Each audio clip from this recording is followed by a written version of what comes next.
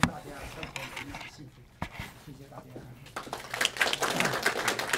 现在是我们主席吴小兵先生为我们致辞。我就简单一点了，祝大家新年快乐，财源广进，万事如意哈，谢谢。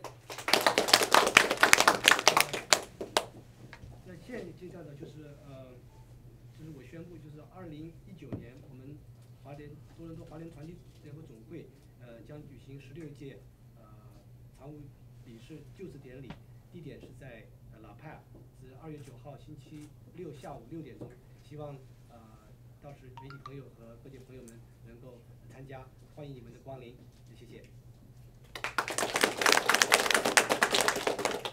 那接下来呢，我们就是请那个呃我们华联会的常委呃理事过来一起合个影，